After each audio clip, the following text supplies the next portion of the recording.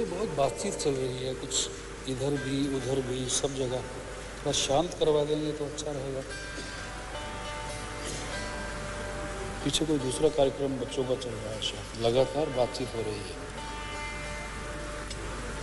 कोई वॉलंटियर्स यहाँ पर हैं जो इसे थोड़ा खामोश करवाएँगे?